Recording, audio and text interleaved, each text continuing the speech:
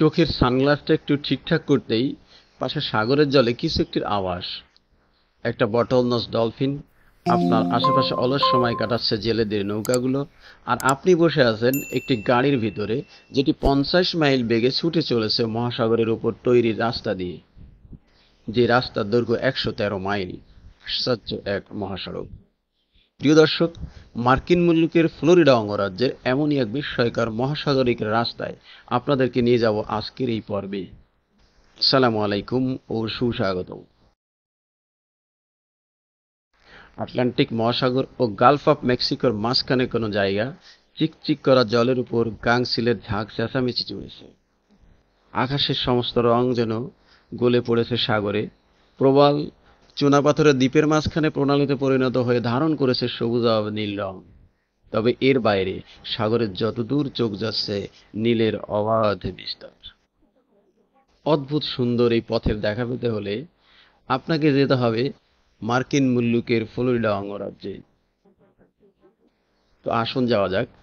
মহাসাগরের বুক ছেড়ে যাওয়া মহাসড়কটি যুক্ত করেছে মূলভূমির সঙ্গে। দুর্গম ফ্লোরিডা কিগুলিকে বলা চলে, এটাই বদলে দিয়েছে রাজ্যটিকে একশো পঁচিশ মাইল দীর্ঘ অনেকগুলো দ্বীপের এক শিকলের মতো এই ফ্লোরিডা কি?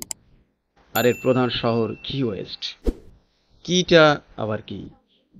মার্কিন যুক্তরাষ্ট্রের ফ্লোরিডা অঙ্গরাজ্যের মূল ভূমি হতে একশো পঁচিশ মাইল এলাকা জুড়ে ছোট ছোট দ্বীপগুলিকে বলা হয় কি? তবে ফ্লোরিডার মিয়ামি থেকে কি ওয়েস্ট পর্যন্ত যাওয়া এখনকার মতো সহজ ছিল না আগে। বিশ শতকের গোড়ার দিকে গোটা দিন লেগে যেত নৌকা বা জাহাজে সেখানে পৌঁছাতে। তারপরও গোটা বিষয়টি নির্ভর করত আবহাওয়া ও জোয়ার ভাটার উপর। এখনকার এই আয়াসী যাত্রার জন্য ধন্যবাদ পেতে পারে একশো তেরো মাইল দীর্ঘ রাস্তা, যেটি মূল ভূমির দক্ষিণ অংশ থেকে ছড়িয়েছে। এই পথে সে চুয়াল্লিশটি দ্বীপের সঙ্গে সংযোগ তৈরি করেছে বিয়াল্লিশটি সেতুর মাধ্যমে। যাত্রাপথে আশ্চর্য সুন্দর এক টুকরা ম্যানগ্রোভ অরণ্যের দেখা পেয়ে যাবেন, যেখানে উত্তর আমেরিকা ও ক্যারিবিয়ান অঞ্চল এক হয়েছে। মহাসড়কটি শুরু আসলে সাগরের উপরের এক রেল পথের মাধ্যমে, আর এর মূল কৃতিত্ব আধুনিক ফ্লোরিডার জনক হিসাবে পরিচিত হেনরি মর্গান ফ্লাগারের।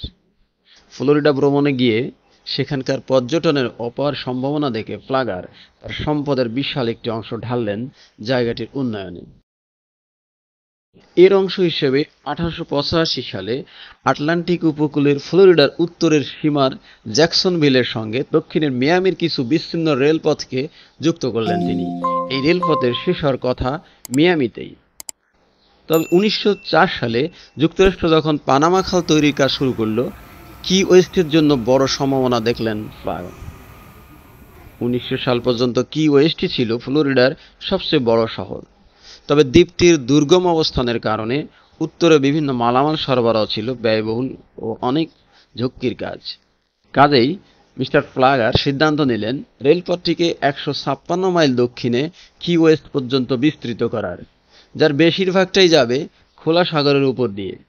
উনিশশো পাঁচ থেকে উনিশশো বারো সালের মধ্যে নির্মাণ এলাকার উপর আঘাত হানে তিনটি প্রচণ্ড হারিকেন এতে প্রাণ যায় একশো বেশি শ্রম তবে ফ্লাগারের লক্ষ্যে ছিলেন অবিচাল কাজটি সম্পন্ন করতে সময় লাগে সাত বছর।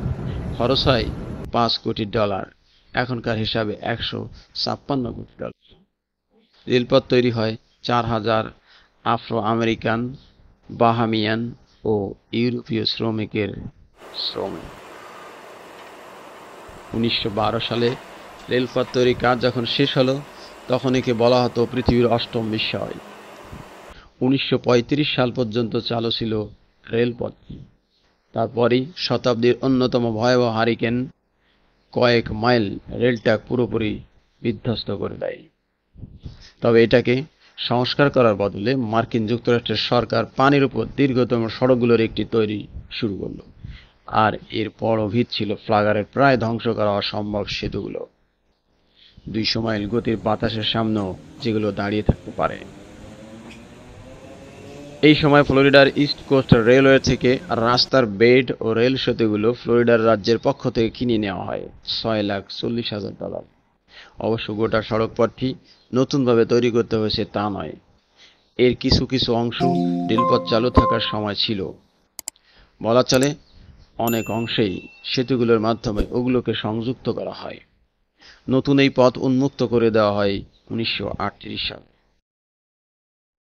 রেলপথ তৈরির পর একশো বছরের বেশি সময় পেরিয়ে গেলেও মূল সেতুগুলোর বৃষ্টি আজও মায়ামি থেকে কি ওয়েস্টের দিকে যাওয়া সড়ক পথের যাত্রীদের সেবা দিয়ে যাচ্ছে।